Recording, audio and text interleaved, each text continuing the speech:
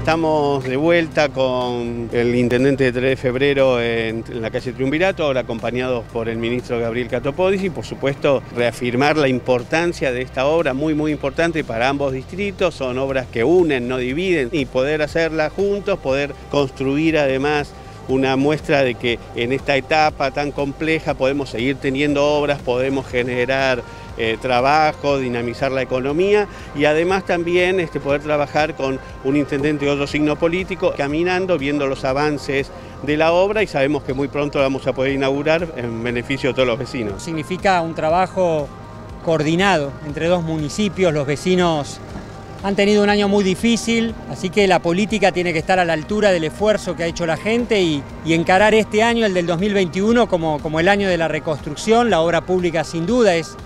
una palanca y, la obra pública está en marcha porque hubo un gobierno, hubo un presidente de la nación que decidió, que tomó decisiones y fijó como prioridad la obra pública, la vivienda, la infraestructura. Si nosotros escuchando a los intendentes, las obras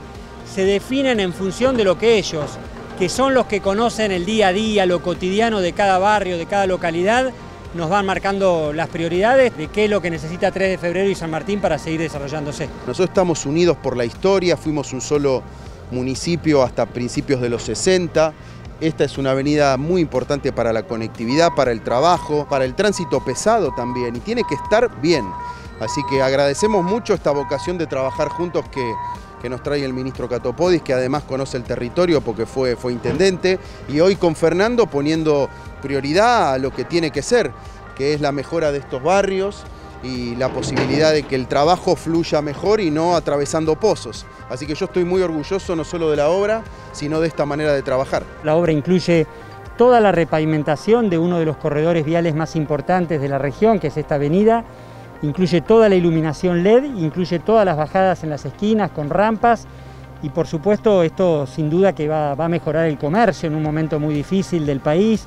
va a mejorar también los frentes de los, de los vecinos y va a integrar mucho más de lo que ya está integrado 3 de febrero y, y, San Martín. En general, estas avenidas limítrofes quedan como los intendentes no suelen ponerse de acuerdo, no avanzan. Bueno, este es un caso de que podemos trabajar en conjunto y podemos avanzar para la solución de los problemas de los vecinos.